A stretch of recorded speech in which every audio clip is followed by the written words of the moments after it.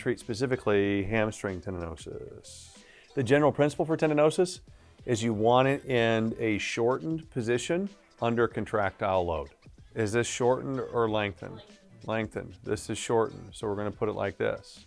Now, I've given you that rule, okay, and I'm going to break it today right after we do the first one, right? There's no reason why you couldn't lengthen it and treat it under the contractile load as well, right? So this is where that curiosity comes in, just taking time to go, well, that wasn't as effective. Let's try one other thing and see how that works and go from there, right? So if I walk up the hamstring to a tendon, right? So from a tendinosis, a little bit quick clinically uh, on tendinosis, what's the, what is tendinosis? Tendon degeneration, perfect. So degeneration usually presents with it's sore when you first get going, warms up, gets achy while you're on it longer, and starts to get sore. That's what degeneration of the tendon does. So when he first gets up in the morning, should it be painful? Yes. Right? Should it warm up and get better? Yes. Does that mean it's going to be completely pain-free once it warms up? No. Depends on how severe it is, right? If they have pain right where the butt and the hamstring meet, 99.9% of the time you need to have tendinosis of the hamstring tendon on your list. The other thing, whenever you have tendinosis, 99% of the time you're going to have nerve entrapment associated with it. So you rarely get tendinosis without a nerve entrapment present also, okay? So is if I have if I find a hamstring tendinosis, am I going to be looking for a sciatic nerve entrapment or a disc injury? Yes, because those things are there almost all the time, right? Or could they have a post-fem cut or one of those things? You're going to look for some type of nerve entrapment associated with tendinosis. So that's the clinical side. From the treatment side, we're going to palpate up to the tendon, find it, okay?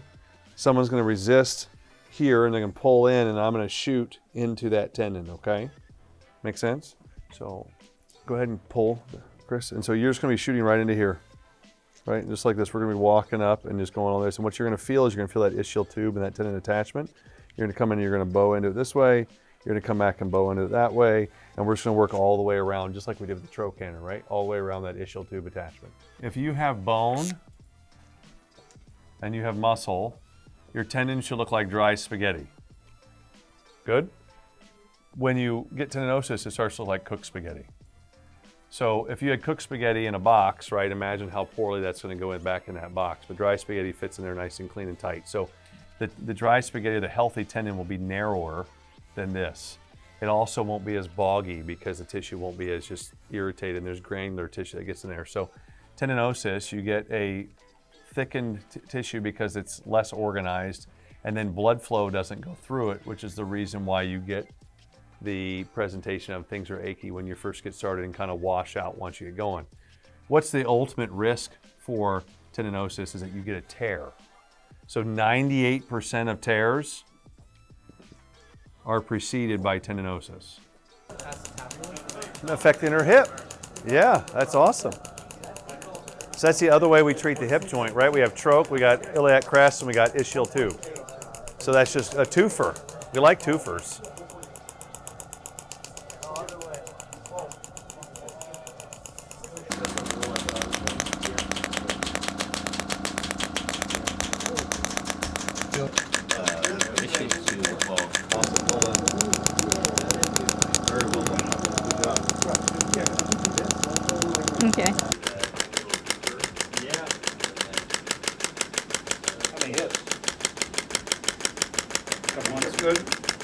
So this goes to, to, the anterior side of this thing. This is the next thing we're getting into. So when we do the next way to treat the tendon, right?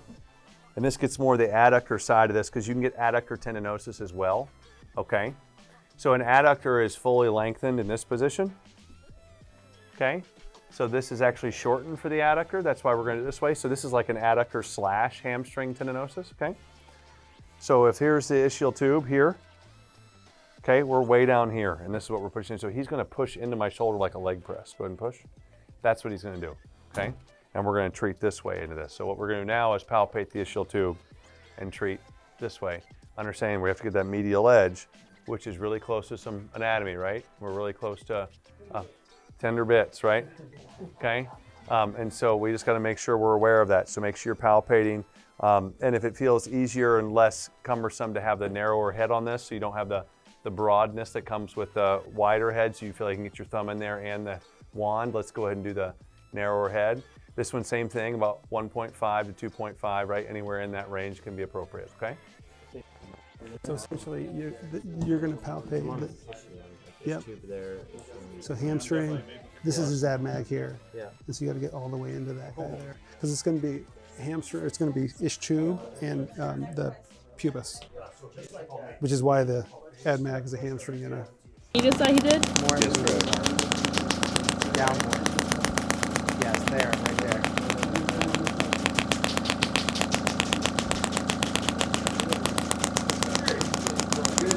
Turn it up a little one notch. I kind of feel like it's moving better. Yep.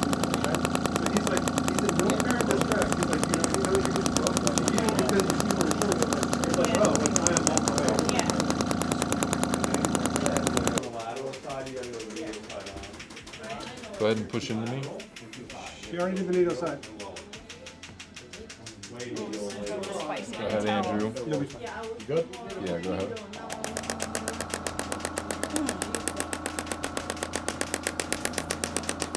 Is that local or does that sh- go to the hip? Uh, it's going up my, down my leg. Yeah, that's what I did to mine too. Even some in the front too.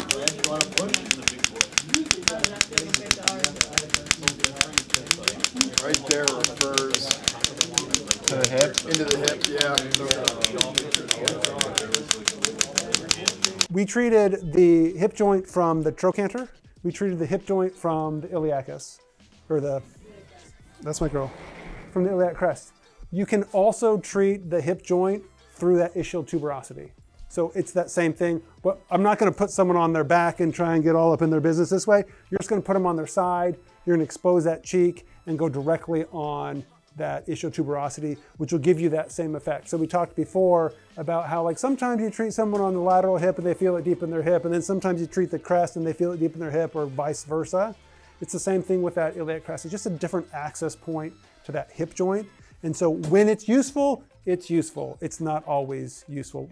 Part of the reason why we're not going to go through how to do it because you understand the concept and it's not one of those things that we're doing in clinic multiple times a day. Yes, sir.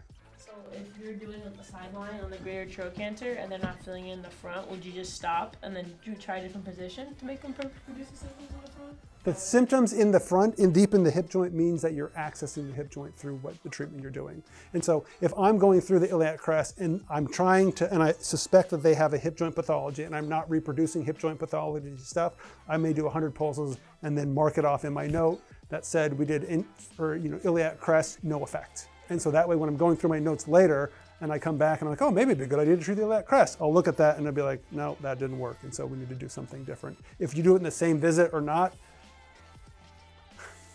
I typically don't. I don't have a good reason to not.